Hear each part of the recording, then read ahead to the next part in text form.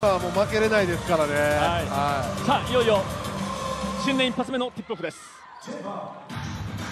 まず画面右から左に攻めていきます。黒とそれからイエローのユニフォーム。ハンドオフで辻直人。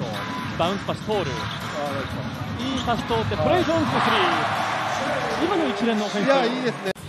そしてビフォードに八村がダブルチームオフェンコーナー追い込んでいくなんとかボールを離して谷口のトップからのスリー。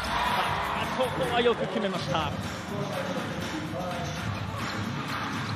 こはおディフェンススイッチ。こちらもダブルチームで来るがベンチのスリーだ。来ました。トレイ・ジョーンズ浮かせるパーカー。よく決めました。さあここも突き放すチャンス群馬です。バウンス。パス飛ばしてマイケル・パーカー。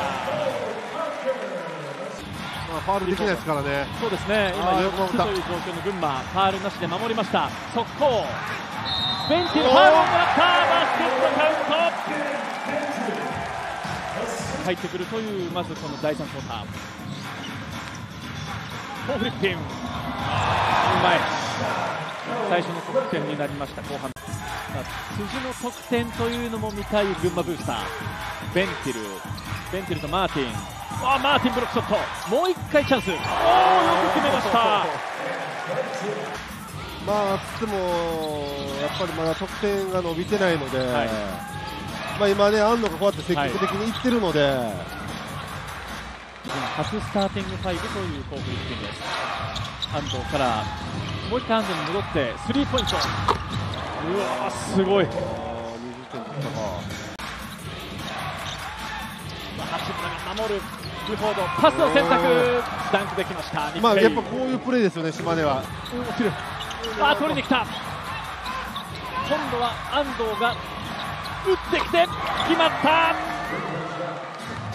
止まらなくなってきました。ミック・ケイトのマッチアップベンベントル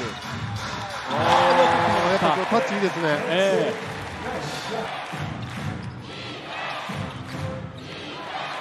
安藤がボールを持つ。フリッピンがつきます。うわ入った。安藤がボールを持った。パーカーをかわす。1人で行く。落ちる。フットバックダンク。バスケットカウント。ビュフォードがここできました2投目もここは決めてきました。リードを広げるという選択。あと7点。ダメージタイムになりました。最後シュートは決まらず試合終了です。